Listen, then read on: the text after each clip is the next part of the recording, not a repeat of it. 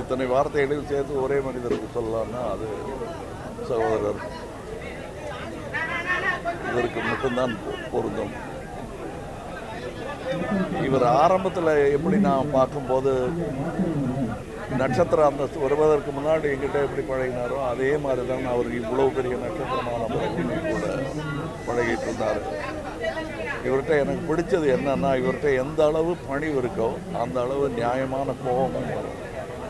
அந்த கோபத்தின் ரசிகன் நான் அதனால தான் அவர் மக்கள் பணிக்கே வந்தார்னு நான் நம்புகிறேன் இப்படிப்பட்ட நேர்மையாளர்களை இழந்திருப்பது ஒருவித தனிமை தான் என்ன மாதிரி ஆட்களுக்கு.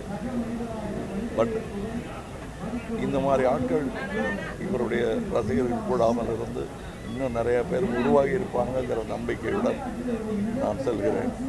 நல்ல நண்பருக்கு விடை கொடுத்து